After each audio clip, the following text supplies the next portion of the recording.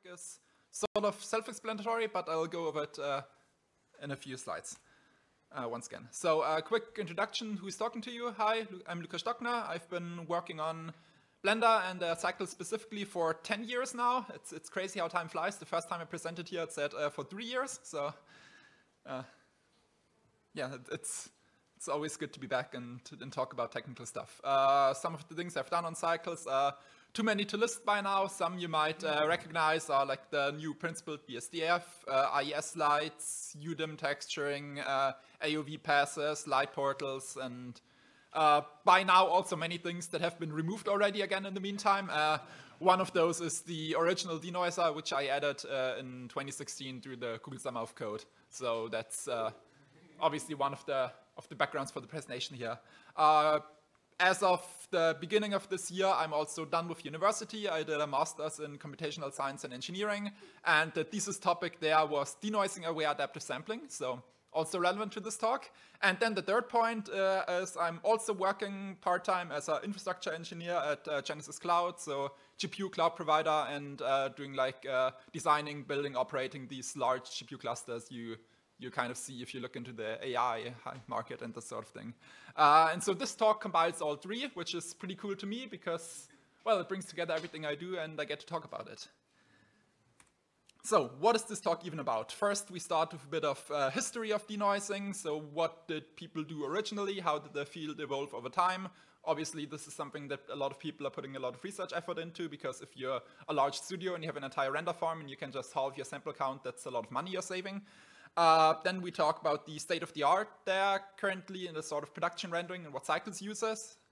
Uh, and what is going on in the research right now, and then specifically about the stuff that I've done over the last, uh, I would say, two years that I've been working on this now. Uh, the talk is going to be mostly high level, so you're not going to see math or code on the slides, but it's also not particularly artist friendly, I would say. It's mostly just a technical overview. All right, so let's get into it. Uh, first, just purely denoising before we get into any of the adaptive specialties. Uh, why even do we want to do this? Well, uh, modern rendering is all, pretty much always based on Monte Carlo integration, and that's pretty cool because it lets us do physically accurate simulations and that sort of thing. But it has one massive downside, which is that if you want to halve the error, you need four times the sample count. So if you want to go down to the level where you can't even see the noise anymore, that's going to be a lot of samples, like thousands, tens of thousands, and you don't want to wait that long for your image. So what can we do? Well, if you look at the typical image, the pixels are hardly independent. So if you have like just a basic white wall, then realistically the nearby pixels are going to be basically identical. So why not just average over them sort of and combine all this information? So you get uh, you get rid of the noise. Uh, sounds easy, it's not that easy, uh, but luckily denoising is uh, of course not something that's unique to image rendering. Uh, if you look at just classic cameras, you have your sensor noise. If you look at pretty much anything in signal processing, even beyond images, denoising is a very classic topic, and so there's a ton of research in it and a ton of methods for doing so. Uh, there's some classic filters like Gaussian blur, median blur, specifically get rid of uh, like so-called salt and pepper noise, where you have strong highlights, uh, there's bilateral filtering, which is better at preserving detail, and that sort of thing. Initially, that's what people kind of did, but rendering has some unique advantages, and it would be uh, very smart to take advantage of them. So what are those? The big one is feature passes. Uh, classically, if you look at the render output, you just get a nice image, but of course, there's a lot of internal additional data that we can expose. We can look at the albedo, so the surface reflectivity, textures, that sort of thing. We can look at surface normals. We can look at depth. We can look at shadowing. We can look at surface roughness. Some people do that. And the advantage is that all of these are strongly correlated with the rendered output, but typically they are noise free or at least a lot less noisy than, than the rendered images. They are not always noise-free. Uh, for example, if you have depth of field or motion blur, that's also going to land in your feature passes.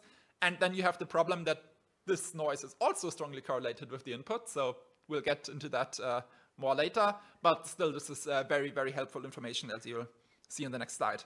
Uh, another advantage we also have is we can split the image into components. So if you're using cycles, you're probably familiar with this diffuse glossy transmission, direct indirect color split that you can do. And that can also help you to process things individually and uh, preserve more details because typically different components have a different trade-off between the level of detail and the level of noise in them. but for practical applications, there are some problems with this, that it needs a ton of memory to save all of these passes. Some things cannot be split so easily, like what would a volume color pass even look like? So there are also reasons to, to not uh, go down this route and focus hard on this component splitting. So here's a quick example. Uh, this is a noisy image, a bit downsampled, so you can see the noise on the presentation, but it's uh, of course, you can cheat and look in the corner at the credits, and then you can probably figure out what's shown in the scene. But uh, if you just look at the noise, it's very hard to make out what's happening here. But if I show you the normal pass, it suddenly gets a lot more obvious what's going on. And if I show you the albedo pass as well, you can probably figure out what the final image is kind of going to look like. And of course, so can the denoiser. So this is what we get, again, from this input, which is pretty crazy if you think about it. So, uh, also a quick uh, illustration just for these uh, component passes. So you see here we have uh, diffuse direct, indirect, glossy direct, indirect, and transmission indirect. And the thing is that uh, this case, for example, glossy direct has a lot of high frequency detail in it, but also not a lot of noise. So we can kind of just leave this as it is. Whereas this case, diffuse indirect is the main contributor of noise in this scene, but there's hardly any detail here. So we can just, could just really filter this away and still preserve the glossy detail. So would be nice. Currently we don't use this, but potentially in the future, who knows. All right, so how do these uh, rendering specific denoisers work? Uh, up to 2015, pretty much everybody was following the same sort of pattern or the same sort of approach, which is you select a family of filters. So you can say, I have different filter radius, I have different kernel types, like maybe Gaussian or box or whatever. You can apply the filters to different features. Uh, you can have different parameters for your filters, so you need some way to have like a whole family of filters you can apply. Then you apply all of them. You estimate the error that you get when filtering the image with them. Uh, there's typically a trade-off involved where if your filter is not aggressive enough, you still have noise, which is error. But if the filter is too aggressive, you end up with bias, which is also error. So usually there's a sweet spot somewhere in the middle which trades these off. And then based on this error estimate, you select the best filter, and then you just kind of for each pixel, select the best filter and merge, merge the result together. Uh, common choices for filters back then were uh, non-local means, which means that you look at a sort of neighborhood of pixels around the pixel you're considering and compare the entire neighborhood, which lets you uh, preserve features more nicely. There are bilateral filters, uh, and there's uh, the classic Gaussian filter kernel. And you could also mix these together, like say use a Gaussian filter in the image domain and then apply a bilateral filter to some feature pass or something like that. Uh, common choice for this error estimation was the so-called uh, Stein's unbiased risk estimate. So if you read these old denoising papers, people always mention sure-based, Uh, that's that's Schur. Uh, the problem with this is that it is extremely noisy in itself.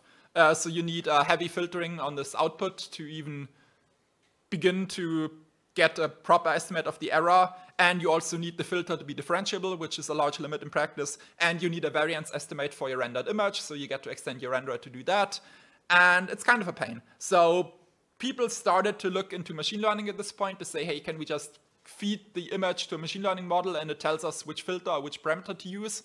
And that sort of worked, but well, we can do a lot better. So the first actual paper that I'm going to shout out here is uh, adaptive rendering based on weighted local regression. Uh, this is from 2014, and they actually do something new, where the idea is that uh, they pretend that the image is sort of a mathematical function, where the output is your pixel color and the input are the features. And then they perform weighted least squares regression, so they sort of fit a linear function to, to this uh, data that they see, where the data is neighboring pixels. And the weights for this fitting are based on uh, feature differences. So the idea is if a pixel shows something completely different, you don't account for it that much. And after you did this fit, you just evaluate for for the center pixel, and that gives you the color for this one pixel. There's some more logic that goes into this, like sometimes feature passes may be redundant. If you have a black and white texture, then RGB is going to be the same, of course. So you do like uh, truncated uh, singular value decomposition. But yeah, you, you just do that and it sort of works, but it's not perfect. So there's a follow-up paper, non-linearly weighted first-order regression for denoising Monte Carlo rendering. This is uh, NFOR, it's typically called, from 2016, uh, which uses the same approach, but they say, hey, it's kind of weird that we use the feature passes both as the dimension over which we do the regression and as the criteria for selecting the weights. So what they instead do is they apply a non-local means kernel to the color and use how similar the rendered image is as a weight for this regression, which works a lot better. Another thing they do is they, when rendering, they split the samples into two. So you have an A image and a B image, which is half the samples in each. It's not as easy as it sounds if you use these uh, low discrepancy sample sequences like Sobol that we use in cycles, but there are ways to do it. And the advantage then is that you have two uncorrelated images. So then what you can do is you can denoise both of these independently, which makes it easier to estimate your error, which is what they do. And also, uh, you might remember that I said you have this problem that your feature passes are correlated to the rendered image. Well, you can avoid that if you use the feature pass of the B image for the color of the A image and vice versa. So this is this uh, cross-filtering. And then after you have these two denoised outputs, you combine them, you do another denoising pass, and that's your final image. So this is uh, NFOR. This is pretty much the peak of, I would say, classical denoising before the AI took over and uh, and everybody just went to machine learning in this field. Uh, you still see people comparing uh, the modern denoisers to NFOR in papers because, well, it's as good as it got back then. So you might remember this. This is uh, from, I don't even remember when exactly it was removed, but I think it was added in 2.79. So this is the classic cycles denoiser.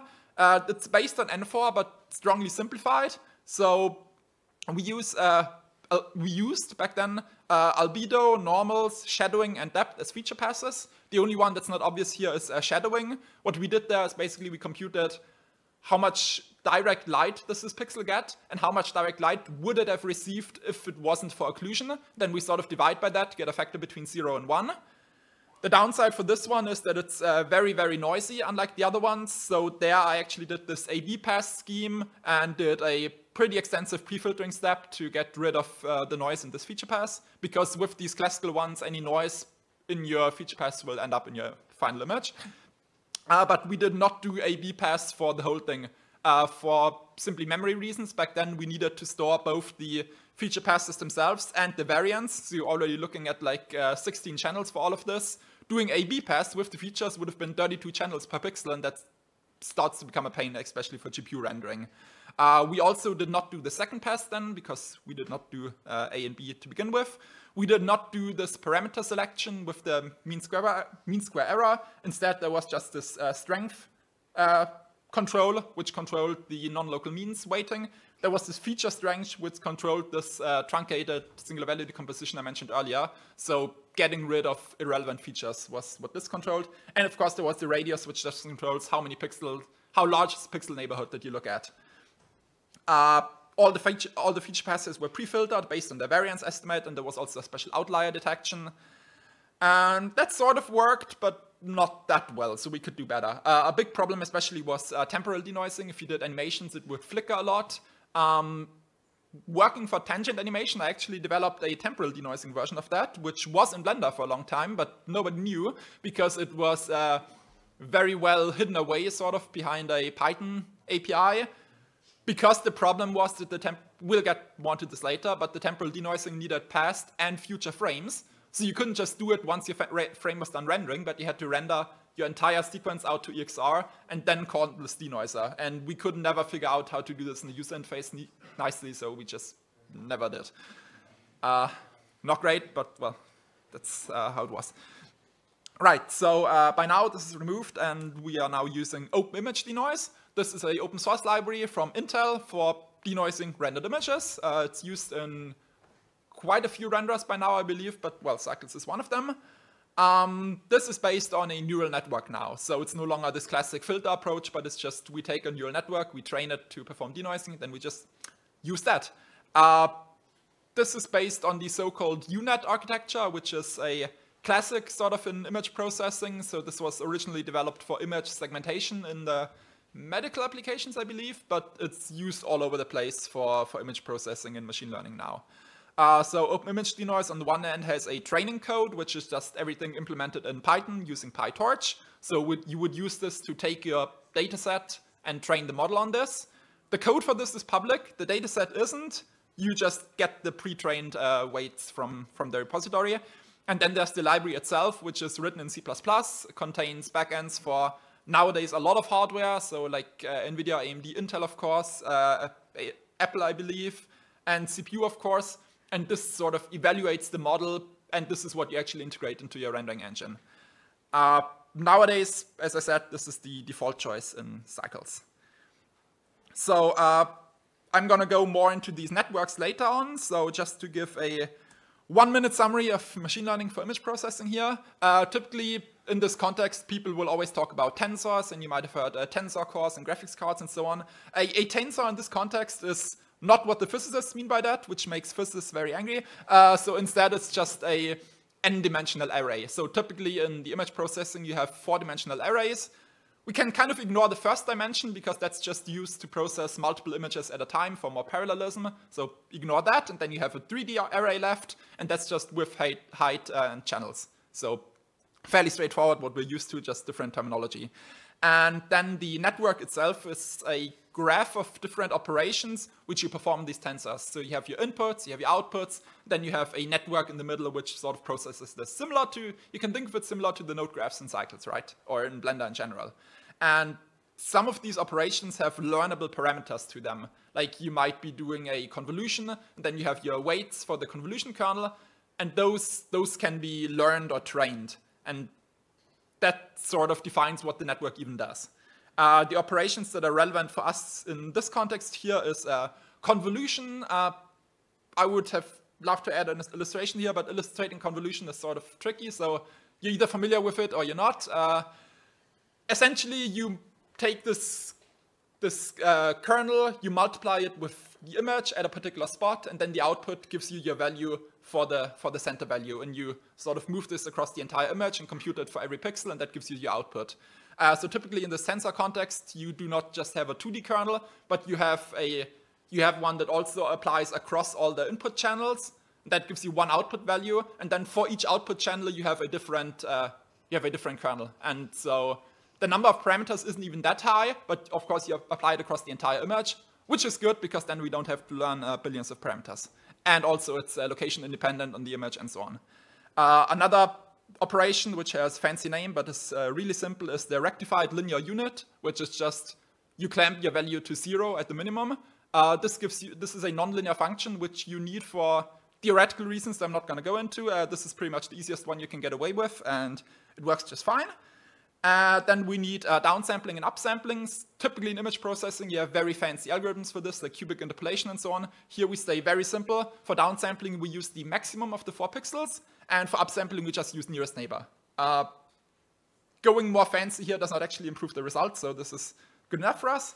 And then we have uh, concatenation, which is the simplest one in the entire list. It's just we take two tensors of the same width and we sort of glue those channels together. So we get up output with more channels. Uh, I said we have all these learnable parameters. How do we train these? Uh, we to just initialize them to random values at the start, and then you perform a gradient descent optimization. So in practice, what does this mean?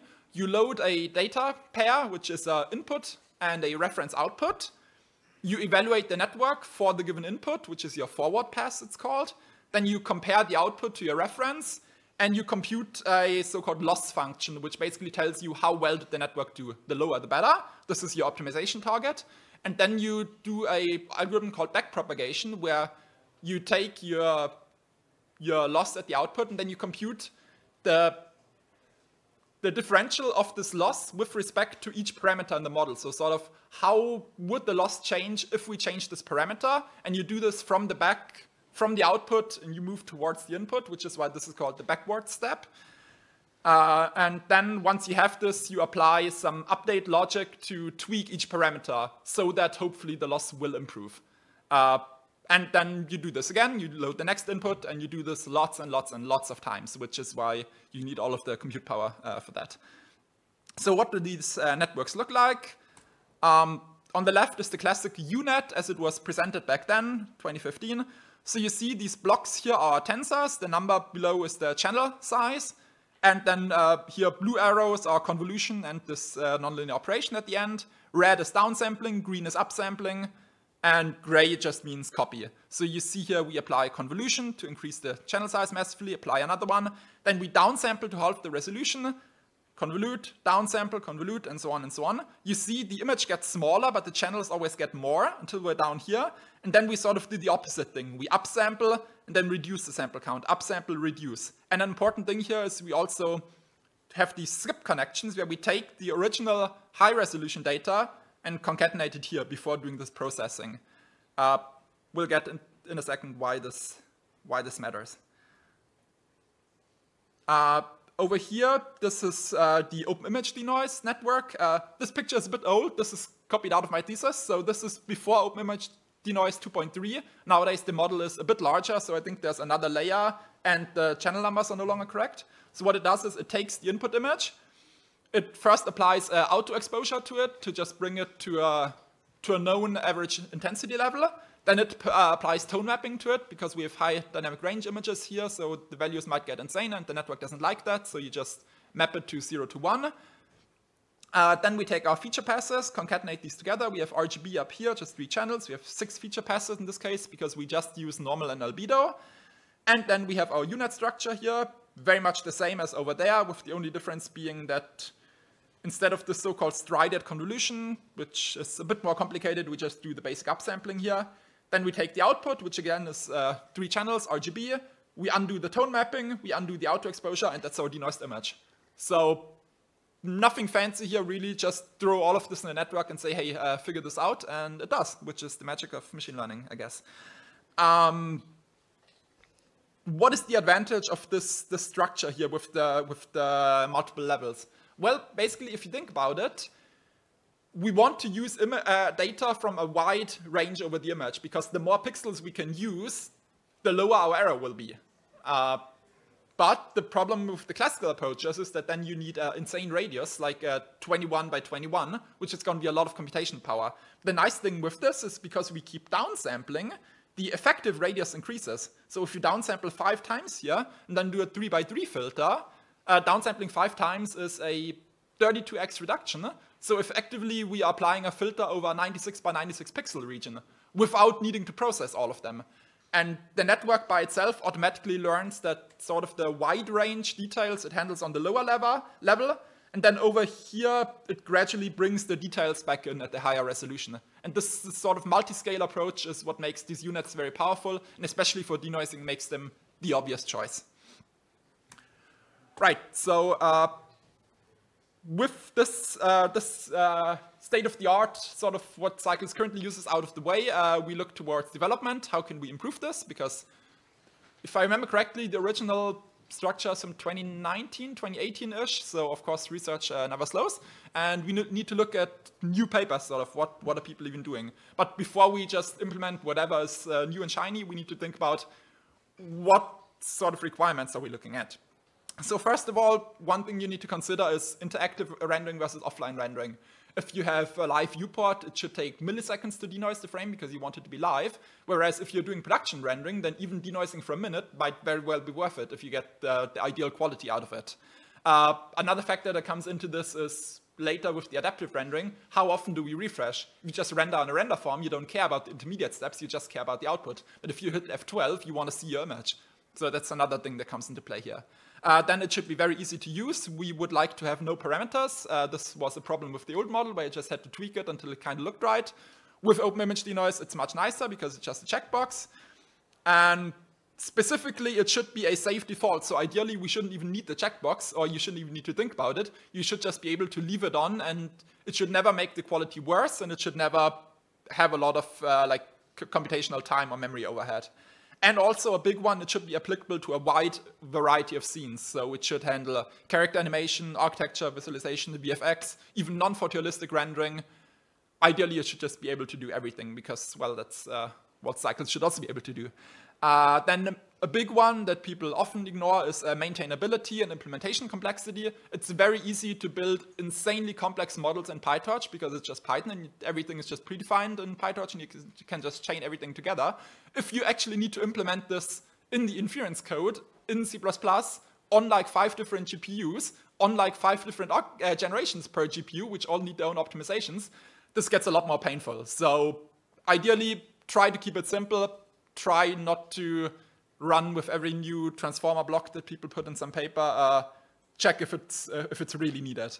Uh, then, of course, generalization to complex real-world production scenes. Uh, denoising something that's just a basic scene with like diffuse shaders is very simple. If you have high dynamic range, fine detail, hair, glossy objects, all these sort of things, it gets, uh, gets a lot more challenging very quickly.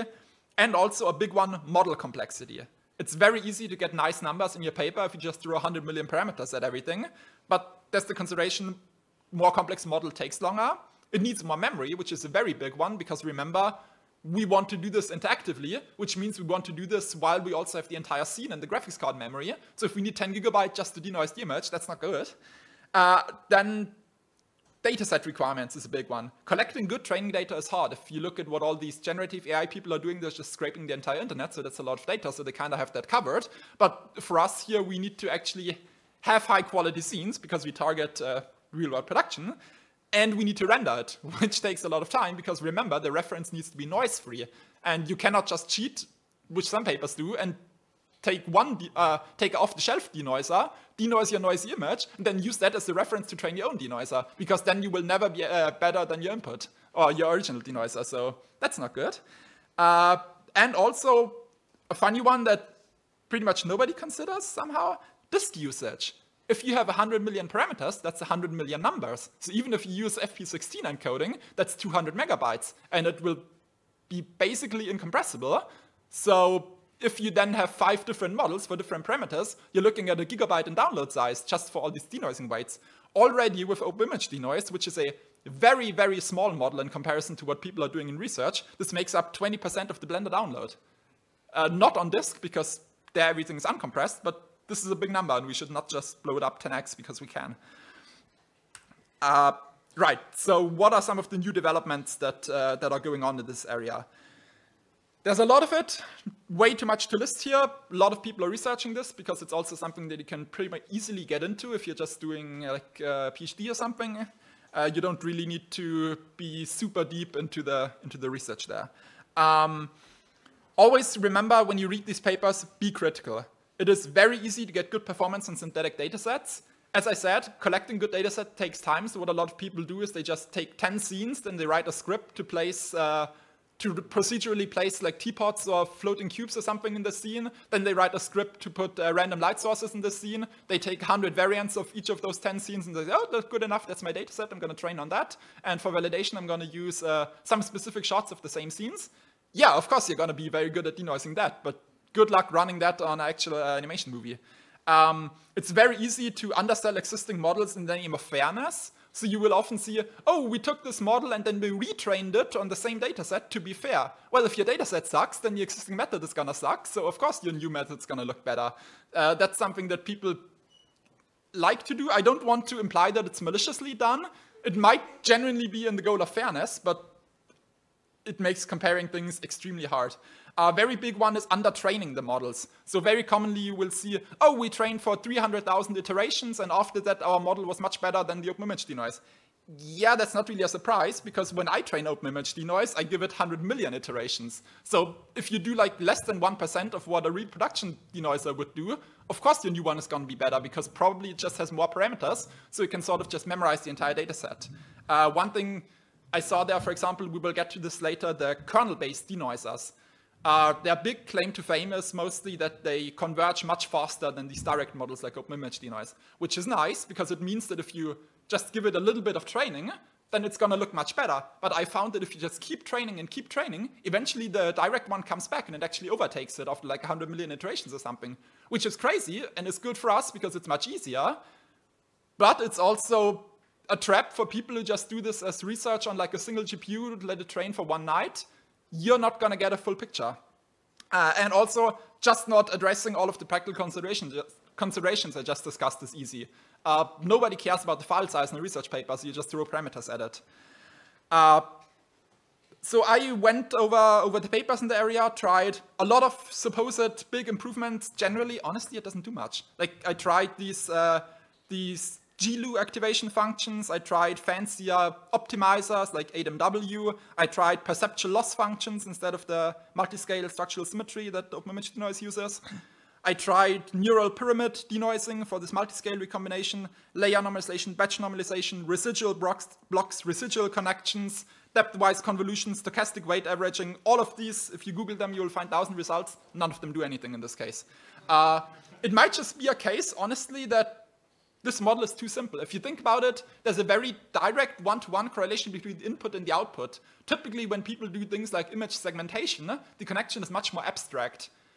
But here we have this problem that it's really directly connected. So if you go to these strongly nonlinear uh, strongly nonlinear activation functions, for example, the model needs to kind of learn how to compensate for that because we want the linear transform, whereas ReLU does that for us out of the box. So it's no surprise that ReLU does just as well as the more complex ones, or even better. So a lot of times, try to keep it simple, try to not throw the entire kitchen sink at the problem. Uh, there's also a lot of people, funnily enough, who come from the from the traditional side of things and don't really want to accept that this machine learning stuff works. So they always go, well, yeah, we can take this machine learning model and then use it to predict a parameter in our fancy theoretical model.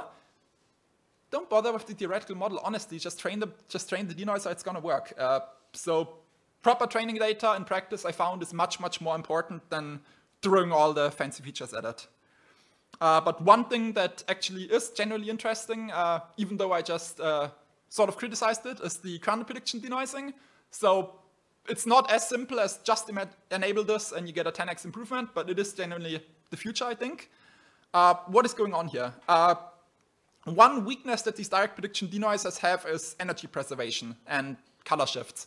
Because the problem is, remember, we apply this tone mapping before we do it.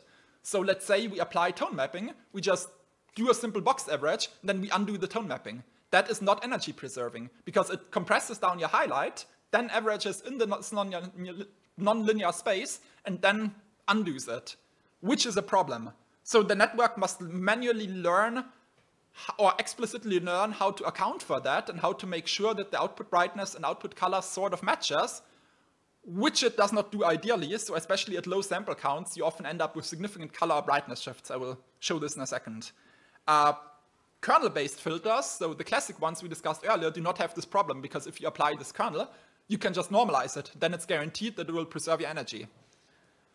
So what if we combine the two? That's the idea in this kernel predicting convolutional networks for denoising Monte Carlo renderings paper, uh, where the idea is that instead of outputting the denoised image, you output a filter kernel for each pixel. So you have then like a 441 channel output, which is just 21 by 21 filter kernel, and you apply that to the original linear image without the tone mapping. And that way you can explicitly normalize your kernels, that way you can guarantee that the energy is preserved, which is pretty cool. Uh, there's a follow-up to this, denoising with kernel prediction and asymmetric loss functions, which introduces the idea to predict kernels at multiple scales, like this UNet we showed earlier, apply them at different scales, and then merge the results together again with this logic that the fine details come from the higher resolution and so on and so on. So what does this look like? Well, here's, uh, here's what we had earlier, and the yellow stuff is new. So instead of directly outputting RGB here, we output, in this case, I had uh, 32 channels, and here 64 and 96 for the other resolutions. We have this kernel block, which is down here, which just takes the input channels and scales them up to 441 channels. Then we do the softmax operation, which normalizes it. And then we apply this per pixel convolution. Then we take the outputs at three resolutions, we merge them together, and this is our final output. And note, we use the original linear image here, not the tone mapped one, which is why we get the energy preservation. So what does this look like? Here's a classic from uh, the Daily Dweebs uh, short. So this is one sample per pixel and denoised. This is with OpenImage denoise. And you will see if I switch to the reference frame, the colors all over the place, especially skin tones and the, I think it's a dog, uh, are just way too green in the, in the denoised image. And for comparison, this is with kernel-based denoiser. So it's still not great. I mean, it's one sample per pixel, what do you expect? But if you sort of look at it from a from further in the back or something, the color is going to look a lot more accurate. The fine detail is still wrong, but at least it's not green. so so that's that's a big improvement. Uh, um, yeah, kernel prediction denoising, I think, uh, will, will come eventually. Right, so then, uh, so far, I've just said, yeah, OpenImage denoise, they have the weights online. If you want to do research and development on this, of course, you need to train this yourself, or you need a way to do this. Uh, how do you do this? Part one, you're gonna want some hardware. You can train this on a single GPU, but again, training it properly will take some time.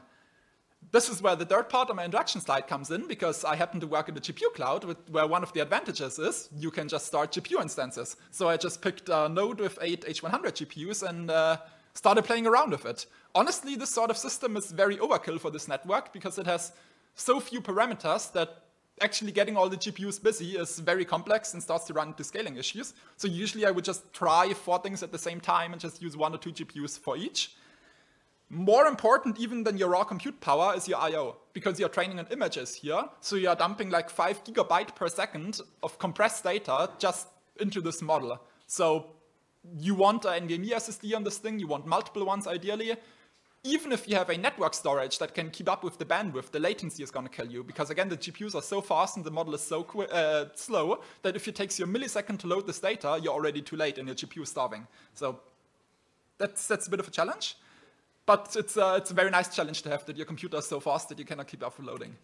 Uh, then you want the dataset, of course. So for this, I ex extended cycles to generate a variance pass and SPP, sample per pixel pass, for the adaptive experiments later on.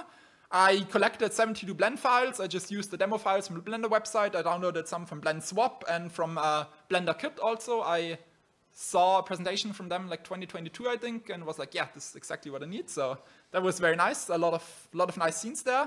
I then set up different camera views, different lighting setups in them to generate 699 what I call uh, variations. And then I rendered each of those at nine different uniform uh, sample levels, so powers of 2 up to 256. Then I rendered it adaptively with six different uh, error thresholds. And then I also rendered with randomized SPP maps. So I just used Perlin noise to generate like random sample per pixel. The idea behind doing these random ones is that if you want to train the denoiser to handle adaptively sampled images, it's good to have that in your training image because if you only ever trained it on uniformly sampled images and then you expect it to denoise something that's adaptive, that's not going to work. So that's something you need to pay attention to. And then, of course, you need the reference, for which I used uh, 65,536 samples. That took quite a bit, as you can imagine. So in total, this ends up with 17,415 images. Each of those is rendered at 4K equivalent, so I kept the aspect ratio and just scaled accordingly. In total, this gives you 5 terabytes of OpenEXRs. This is already with half float, so it would be even worse with full float. Uh, rendering this took 3,500 GPU hours, 2,900 just for the reference frames. Again, uh, being able to just start this sort of thing for free is uh, very useful if you're doing this. And then, of course, for the training process, I did a lot of optimizations there. I changed the pre-processing to make the I.O. more efficient, changed the data loading. Uh, there's, again, small things like, for example, copying the data to the GPU uses pinned memory, so the DMA is direct memory access for the GPU is more efficient. But this means that if you do this multi-threaded data loading, this is all written in Python, so multi-threading isn't a thing. So it uses multi-processing to to distribute uh, to load all the data, but then it needs to shuffle all of that into pinned memory, and you cannot share pinned memory between processes. So what it does is it copies everything to a shared memory region in the main process, and then that has one thread which mem copies everything into the pinned memory region. And this ended up being the bottleneck. Literally just the mem copy ended up being too slow on a machine with eight memory channels. That's crazy. That's that's how fast these systems are, and that's that's why honestly you should use a smaller machine to do this sort of training. Right, so now we can uh, now we can train our own denoiser. So what do we want it to do? Well, uh, the first thing that I wanted it to do and what I did in my thesis was denoising aware adaptive sampling. Uh, this is a topic that came up at uh, the Cycles meeting at the conference two years ago, and Sebastian Herholz back then uh, heard me talk about this and said, hey, aren't you looking for a thesis topic for your university stuff? Uh, maybe just do that. So thanks for the suggestion, was, was a great idea and it worked out nicely. Uh, so what's going on here? First, adaptive sampling in general. It's a very old idea. Uh, literally, the very first path tracing paper, 1987, already brings up this idea of looking at the variance of each pixel and deciding where to allocate your compute resources. Traditionally, there's two ways to do this. You look at the variance estimate for each pixel, or you do this A-B buffer trick and compare the A and B buffer, and if they're close enough, it's probably going to be fine. There's two problems with that. First, it's not particularly smart, so it can lead to some problems. For example, I have this here on the right is uh, no adaptive sampling, just high sample count. And what you see down here are fireflies from caustics in this image. It doesn't look like fireflies because this is at like 16,000 samples or whatever, but here it looks quite nice. But if you look at the adaptive seal sample version, it looks much worse Because what's happening here is that in some areas, the rendering progresses far enough without encountering a firefly that the, uh, that the adaptive sampler looks at it and says, well, there's no noise here, everything is fine, we can just stop. And in other areas, it does encounter a firefly and it keeps going, and that's how you end up with these sort of splotchy artifacts, which is a problem. To, to the credit of Cycles and the existing algorithm in there, this is a ridiculous scene. I had to I had to tweak this quite a bit to make it so visible, but it is a theoretical problem at least, and that annoys me. Uh, and then the, the second problem is this does not account for how well the denoiser will work in an area. So first we do the adaptive sampling and then we denoise. Why is that a problem? Well, let's look at an example. Here's the Blender 2.83 splash screen at a very low sample rate. And here's a visualization of the error. So this is a standard deviation relative to the pixel intensity. And if you look at it, it's, it sort of lines up. Like, for example, here we have a lot of noise in this uh, bright area up top, and it's very bright here. Whereas, for example, we have very little noise down here, and yeah, this, this looks kind of good. So the estimate here makes sense, and usually this is what the adaptive sampling would focus on. So it play, would place a lot of samples up here, for example. So we can take this, and we can denoise it. And if we now look at the error of the denoised image compared to the reference, it looks like this, which is a very different picture from what we saw before. So for example, up here, where we previously would have put a lot of effort, there's no point, because this is just a smooth area, so the denoiser works perfectly. Why should we put more samples here if we're going to denoise anyways? So again, if we compare this, you can see the areas where you focus are very different. So the denoiser, for example, would focus down here at these reflections in the water. I don't have the reference image here, unfortunately, but if you actually switch to it, this is very wrong. It should look very different. You don't notice in the denoised image, but there should be way more detail here. So ideally, this is what our adaptive sampling should care about, not this. So how do we do this? Well, there's one paper for this, uh, deep adaptive sampling for low sample count rendering uh, from 2018. The idea there is this is focused on real-time low sample count rendering. Uh, you render one sample uniformly, then you uh, let a neural network figure out a sampling map from that, and then you render three more samples adaptively, then you denoise and you're done. Because this is real time, you only do four samples per pixel. You train the entire thing end to end, so you, you have sort of the initial image, then you have your sampling network, then you have your render in the middle, and then you have your, your denoiser at the end, and you optimize for the final image quality. The problem is, how do you do that? If, because you need to propagate your gradient through the renderer that there are differentiable renders and so on and so on, but that's a very, very complex and different topic. So what they just do is they, rend, uh, to do the forward pass, they render the image at different powers of two, then they add these together. So for example, if you want a 10 sample per pixel image, you just take the 8 and the 2 sample per pixel, you add it up, you get your 10 samples. So this is the forward pass. For the backwards pass, they just use approximate gradient where they say, eh, the image, the pixel is probably gonna go towards the reference as we increase the samples. So just use that, it's good enough.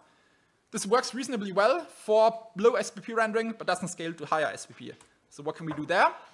We can do deep adaptive sampling and reconstruction using analytic distributions, where the idea is that instead of pre-computing this SPP cascades, we randomly generate noisy images at runtime or at training time. So we say uh, the or they found that the random noise in rendering is fairly well approximated with a gamma distribution, and so you just compute the variance in your image, and then you can sample, randomly generate uh, noisy images at runtime with random noise pattern every time for any given sample count you want, because you know your square root over n convergence, uh, 1 over square root of n convergence for Monte Carlo, so you can just do that.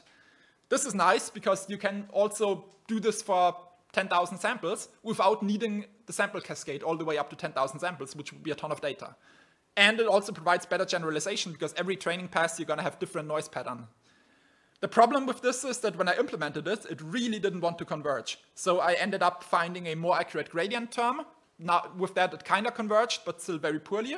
I found that it tended to stuck, get stuck on single images, uh, on single pixels. The problem there is that the softmax is a exponential mapping.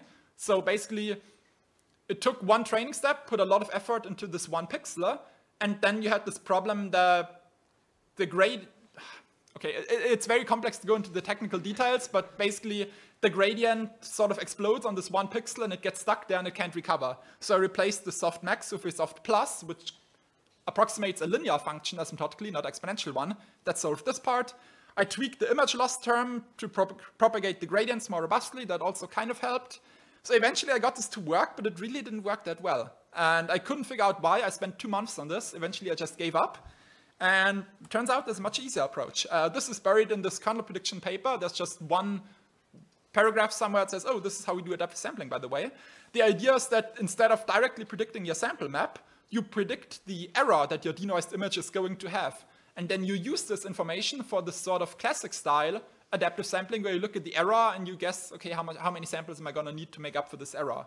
So this assumes that if you increase the number of samples at one pixel, the denoised error at that pixel is also going to go down, but that's a fairly, re fairly reasonable assumption. And it's much easier to train because we know the true error. We can just compare the output to the reference, and that's the error. We don't need to have all of this complicated sample maps and estimation and end-to-end -end and blah, blah. We can just optimize how close is the estimated error to the real error, good enough.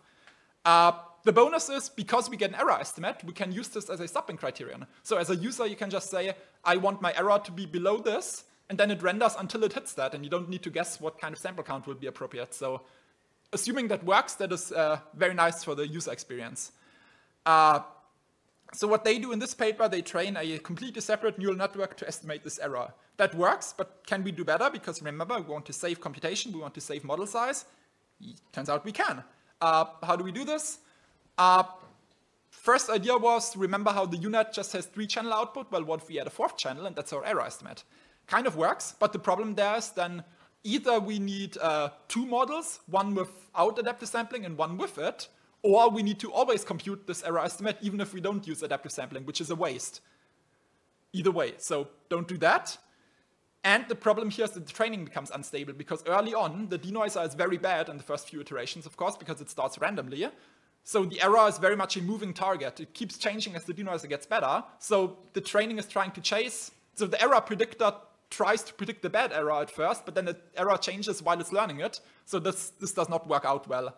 Uh, turns out what works much better is to share this left half of the UNet, which goes down in resolution, then copy the values and then have two different uh, parts that go back up.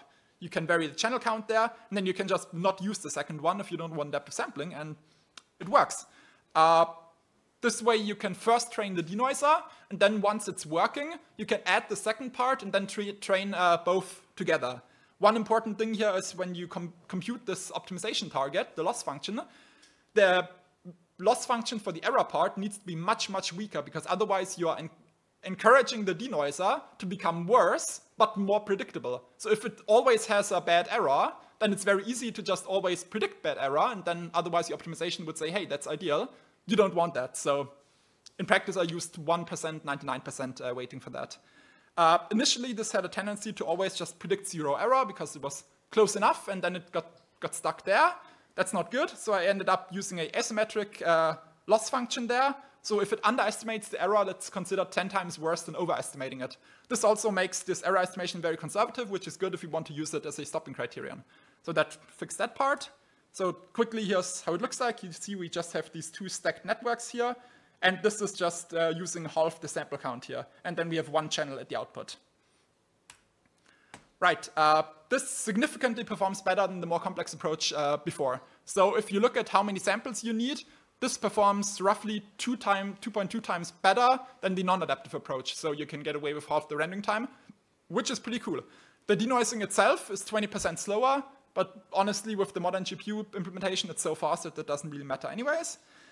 And uh, if by comparison, what's interesting here, if you sample according to variance, it actually gets worse because I tested all of this at low sample counts, and the variance estimate itself is so noisy that it makes things worse, which is interesting.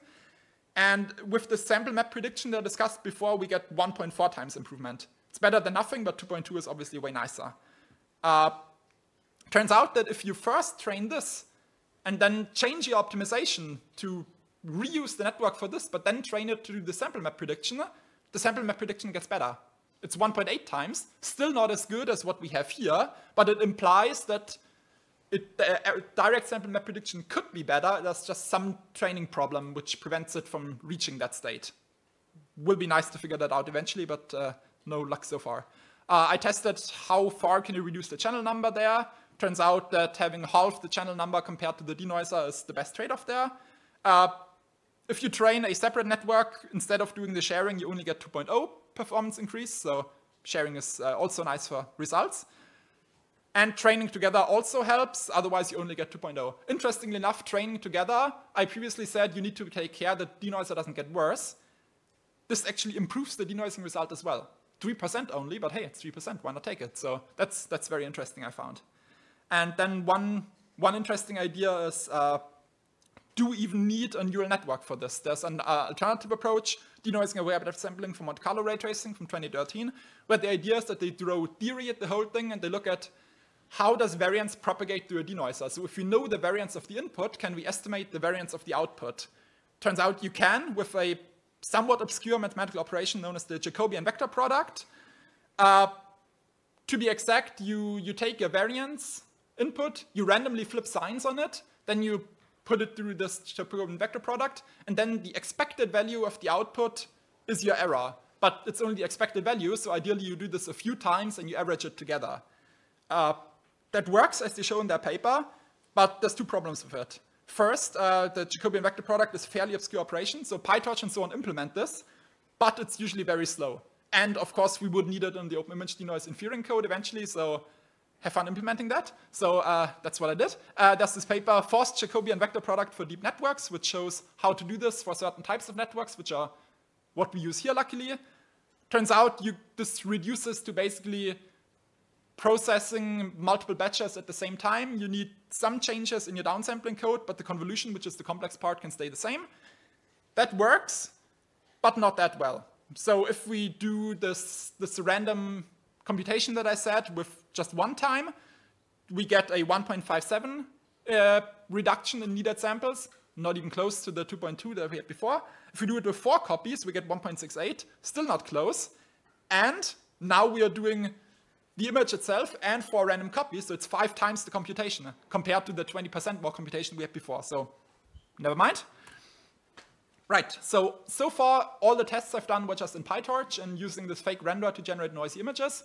How does it actually uh, work in cycles? Um, direct error prediction clearly is the best candidate, so why not implement that? Most of the open image denoise code can be reused as is because again, it's the same network, just different channel count. We just need a copy tensor operation because the code is very smart and does a lot of the operations in place. But because we use these skip connections for both networks, we need to copy them. So implement that. We need a post-process error operation, which does uh, the normalization and does not undo the tone mapping like it does for the color. And then Cycles just gives the OpenImage noise library a buffer, says, hey, please put error here, and it does it. So very, very nice and clean implementation there. So then I modified this adaptive sampling in cycles to use this error estimate.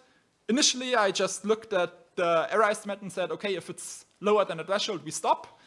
That's not ideal. So what's better is you look at the error, you compute how many samples am I probably gonna need, and then you look, is the sample that I'm about to render above this? If it is, then you stop.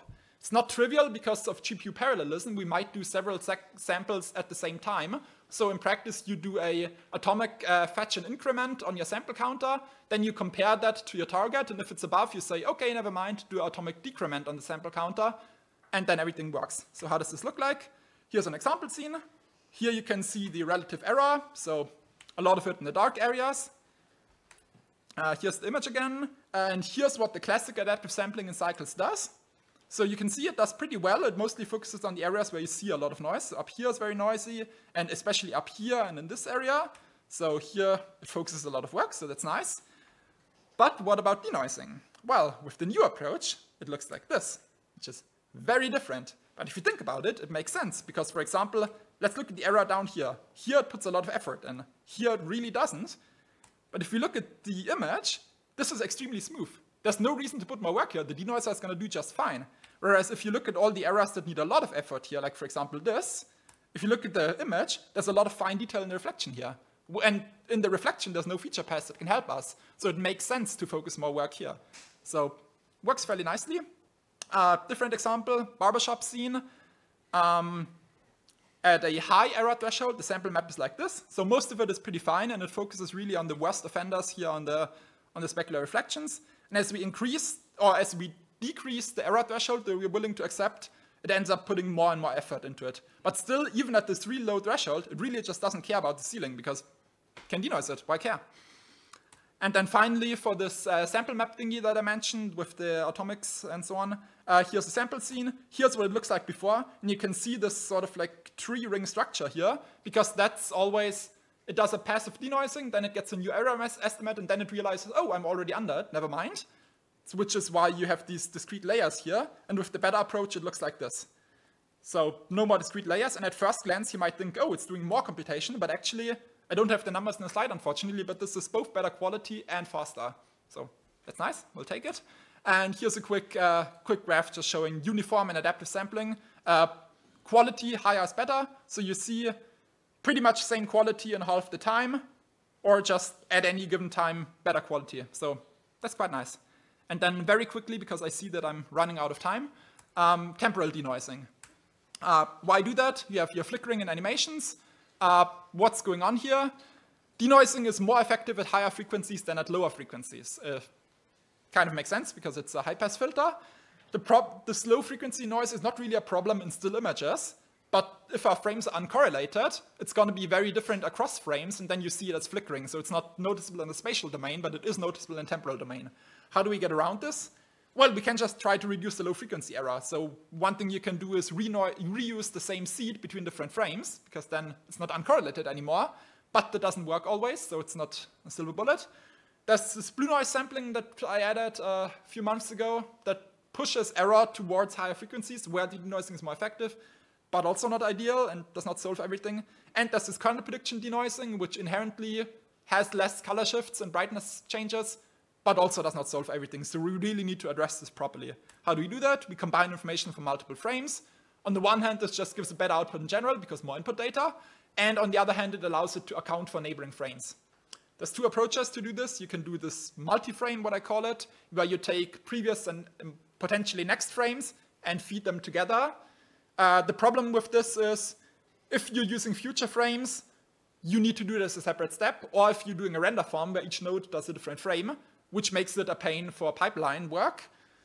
But this is usually used for high quality rendering. And then there's this recurrent approach, which is used for interactive rendering, where the idea is that you remember some information from the previous frame and then reuse it for the next one. Again, there's very complex recurrent networks, but there's a very simple approach, uh, which I'll just show you in a second.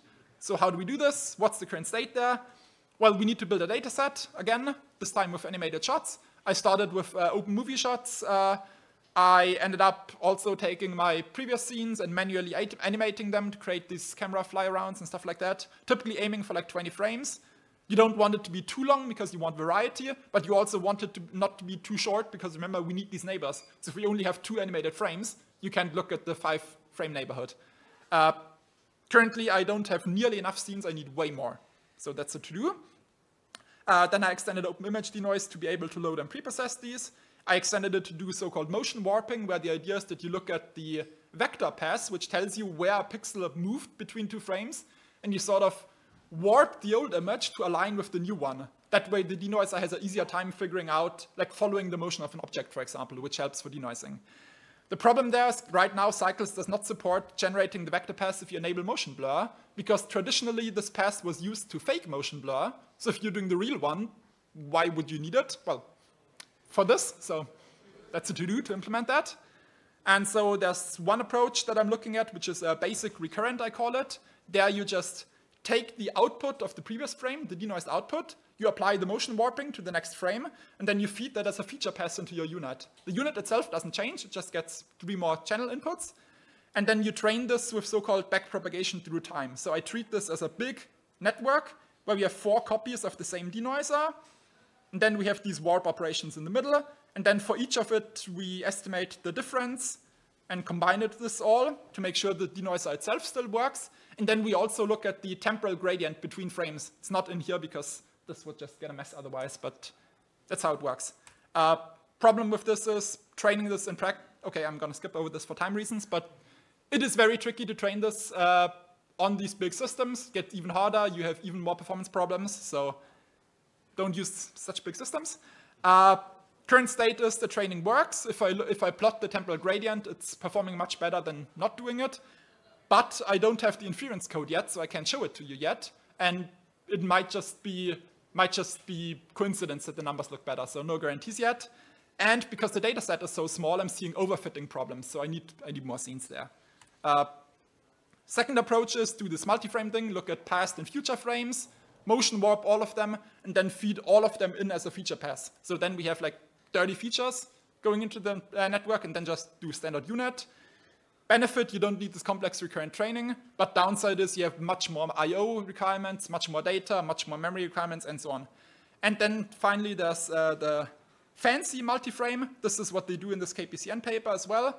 The idea there is you take all of your neighboring frames, you apply the same network to each individually to, uh, so you apply a UNet, a complex one, to get sort of intermediate outputs, then you motion warp the intermediate outputs, and then you have a network that predicts your filter kernel across all the frames. Then you just apply that. The neat thing about this is that the complex part, this intermediate feature extractor, can be reused for single frames. You just need a different kernel predictor there. So we save networks, we save uh, download size, and so on and so on. Downside, very complex to implement, especially on the inference side. Both of these I have some code, but no training yet, so who knows how well they will work. Uh, right, so conclusion. Uh, I went over a lot of stuff. Uh, what's the current status with all of this? Um, the adaptive sampling works. I have code for this on my Project Blender.org uh, page. Um, after the master's thesis, I decided to take a break from it because honestly, I was sick of it after five months of just working on it nonstop. You may remember uh, last year, if you've met me at the conference, I was always sitting on my laptop trying to get this to work. So uh, as usual, uh, very much a rush to get this done last minute, but I want to pick it up eventually again. So what's the future work here? Uh, we need to improve the temporal data set. It's clear that it's not good enough. We need to, we need more data, or I need more data. I need more scenes. I need to render much more. I need five terabyte is not enough, you know? Uh, we, or I, need to coordinate with the upstream open image uh, denoise development to make sure that we're not duplicating effort here. Already work in progress, already, already writing emails there. So, of course, the goal is that this should not just be in Blender, but this should be available to every open image denoise user. Uh, pick back up the adaptive sampling work, try to upstream it, try to polish it. Uh, work on the improvements on the cycle side. So I mentioned we need the vector pass with motion blur. Uh, look into yet other advances in neural network design, like depth-wise separable convolution kernels. Those might generally be promising, so that's, uh, that's something I will keep doing because I have the luxury of being able to just try 100 different things on this, on this uh, GPU server, so why not do it? And also a big one, publish the dataset that I'm using. I complained earlier, a lot of the researchers just use these crappy synthetic datasets, well, I can't really blame them because they don't have the re render power and the availability of the scenes to do it properly. But I've already done it, so why not just publish all of this? Well, the practical answer is it's 5 terabyte, where are you're going to host, host that. But there are approaches to doing this, so that's something I'm very much looking into. And yeah, a lot of exciting stuff ahead. Uh, my last slide would say questions, but if I look at the time, I should very much stop. so yeah, just if this sounds interesting to you, if you want the source code, if you want the papers, if you want any more info, if you want the dataset, send me an email, talk to me on chat. I'm very much down to talk to anyone who also is interested about this. So thanks a lot for your attention.